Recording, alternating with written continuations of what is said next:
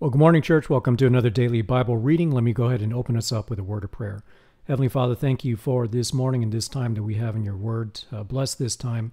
Be with us. Allow us to grow in our knowledge of your word and your purpose for us. And we pray these things in the name of your Son, Christ Jesus. Amen. Well, let's take a look at our passage for this morning. We've got Isaiah chapters 23 to 25, as well as 1 Corinthians 3. And as we take a look at Isaiah chapter 23, we have a prophecy here for Tyre and Sidon. Tyre and Sidon are two um, regions that were often um, a temptation to Israel, and we see the judgment that's coming upon them here in verse 1. The oracle considering concerning Tyre, Wail, O ships of Tarshish, for Tyre is destroyed without house or harbor is reported to them from the land of Cyprus. Now, Tyre was one of the cities that was out on the coast of the Mediterranean Sea, so they did a lot of commerce um, over the seas with their vessels. Verse 2 Be silent, you inhabitants of the coastland, you merchants of Sidon, you messengers, your messengers cross the sea. And were on many waters the grain of the Nile, the harvest of the river was her revenue, and she was the market of nations. Be ashamed, O Sidon, for the sea speaks, the stronghold of the sea, saying, I have neither tra- travailed nor given birth. I have neither brought up young men nor reared virgins. When the report reaches Egypt, they will be in anguish at the report of Tyre. Pass over to Tarshish, wail, O inhabitants of the coastland. Is this your jubilant city, whose origin is from antiquity, whose feet used to carry her to colonize distant places? Who has planned this against Tyre, the bestower of crowns, whose merchants were princes, whose traders were honored of the earth? So we see here, just in these verses, just how prosperous um, these two um, cities were. And verse 9 the Lord of hosts has planned it to defile the pride of all beauty, to despise all the honored of the earth. Overflow your land like the Nile, O daughters, O daughter of Tarshish. There is no more restraint. He has stretched his hand out over the sea. He has made the kingdoms tremble. The Lord has given command concerning Canaan to demolish its strongholds. He has said, You shall exalt no more, O crushed virgin daughter of Sidon. Arise, pass over to Cyprus. Even there you will find no rest. Behold the land of the Chaldeans, and the Chaldeans, um, that, that was in Babylon. This is the people which was not.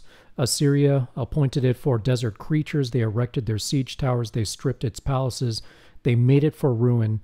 Wail, O ships of Tarshish, for your stronghold is destroyed. So the Chaldeans are the one that's going to come and destroy them. And then we go to verse 15, and we see a change after 70 years. Now, in that day, Tyre will be forgotten for 70 years, like the days of one king. At the end of 70 years, it will happen to Tyre as in the Song of the Harlot. Take your harp, walk about the city, O forgotten harlot, pluck the strings skillfully, sing many songs, that you may be remembered. It will come about at the end of seventy years that the Lord will visit Tyre. Then she will go back to her harlot's wages, and will play the harlot with all the kingdoms on the face of the earth. Her gain and her harlot's wages will be set apart to the Lord. It will not be stored up or hoarded, but her grain will become sufficient food and choice attire for those who dwell in the presence of the Lord.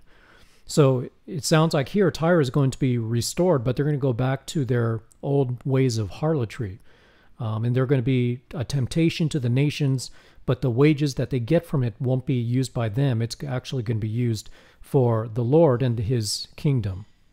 And in chapter 24, we see the judgment that's going to come on the earth before the kingdom is established.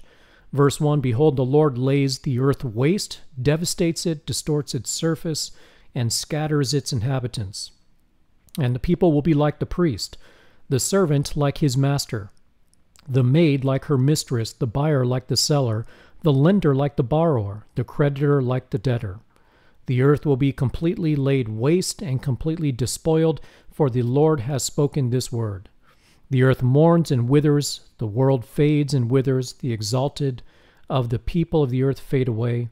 The earth is also polluted by its inhabitants, for they have transgressed laws, violated statutes, broke the everlasting covenant. Therefore, a curse devours the earth, and those who live in it are held guilty. Therefore, the inhabitants of the earth are burned, and few men are left. The new wine mourns, the vine decays, all the merry hearted sigh. The gaiety of tambourine ceases, the noise of revelers stop, the gaiety of the harp ceases. They do not drink with they do not drink wine with strong. Strong drink is bitter to those who drink it. The city of chaos is broken down, every house is shut up so that none may enter. There is an outcry in the streets concerning the wine. All joy turns to gloom. The gaiety of the earth is banished. The desolation desolation is left in the city, and the gate is battered to ruins. And thus it will be in the midst of the earth among the peoples, as the shaking of an olive tree, as the gleanings when the grape harvest is over. So we see the description here of the judgment, uh, the destruction that's going to come really upon all the earth as the Lord returns. And verse 14, we will see celebrating from the remnant um, who um, are are there, the righteous, that the righteous remnant um, who are remaining.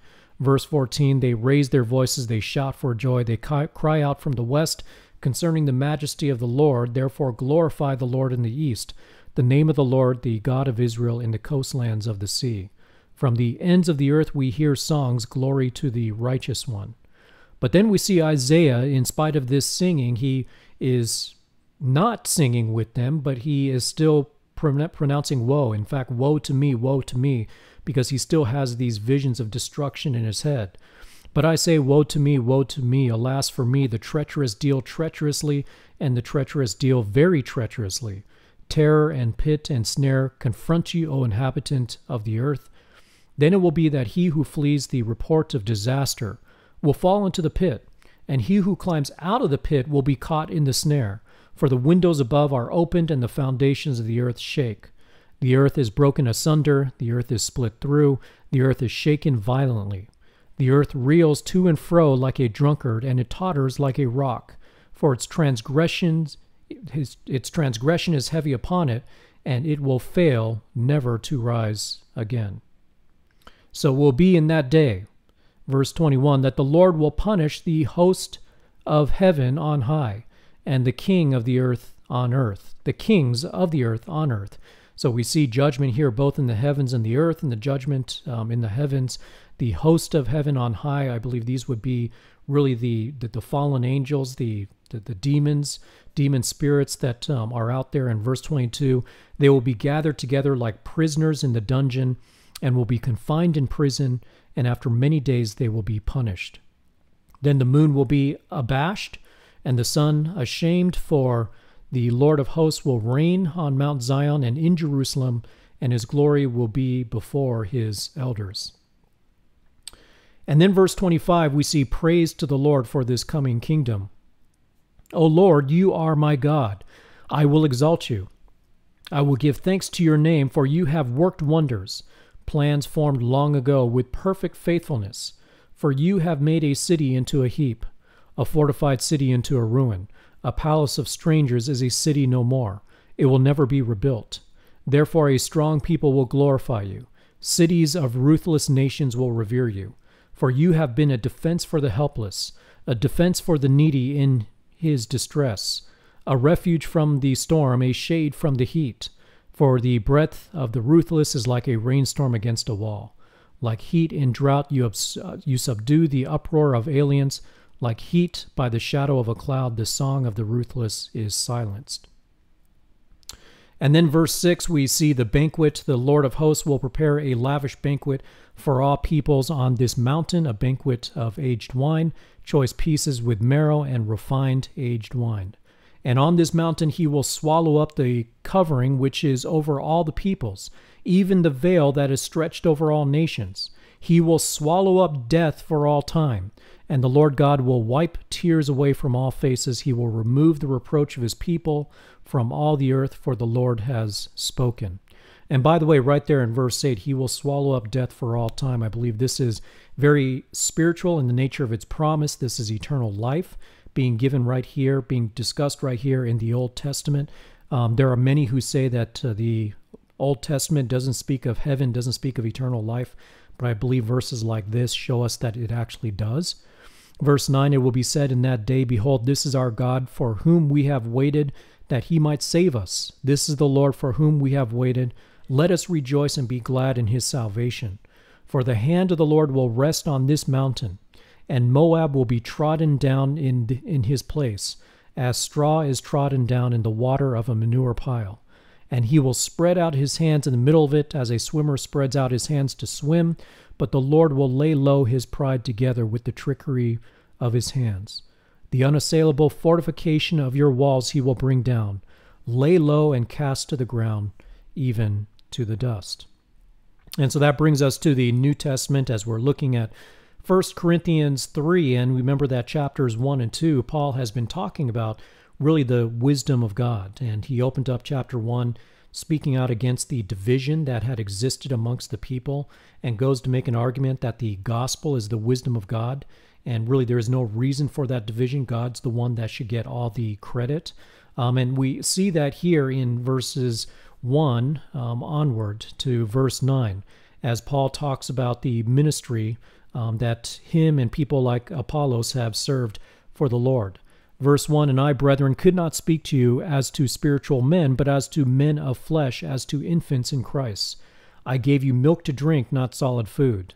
For you were not yet able to receive it. Indeed, even now you are not able for you are still fleshly, for since there is jealousy and strife among you, are you not fleshly? Are you not walking like mere men? For when one says, I am Paul, and another, I am of Apollos, are you not mere men? For what then is Apollos, and what is Paul? Servants through whom you believed, and even as the Lord gave opportunity to each one. I planted, Apollos watered, but God was causing the growth. So then, neither the one who plants nor the one who waters is anything, but God who causes the growth. Now, he who plants and he who waters are one, but each will receive his own reward according to his own labor. For we are God's fellow workers, you are God's field, God's building. So, in other words, there really is no reason for this division. There is no reason to put pride in men. Our pride is in the Lord alone. And Paul actually had said that at the end of um, chapter 2. that we read yesterday. And then going to verse 10 according to the grace of God which was given to me like a wise master, builder, I laid a foundation, and another is building on it. But each man must be careful how he builds on it. For no man can lay a foundation other than the one which is laid, which is Jesus Christ. For if any man builds on the foundation with gold, silver, precious stones, wood, hay, straw, verse 13 says, each man's work will become evident for the day will show it because it is to be revealed with fire, and the fire itself will test the quality of each man's work. If any man's work which he has built up on it remains, he will receive a reward. but if any man's work is burned up, he will suffer loss, but he himself will be saved, yet as through fire.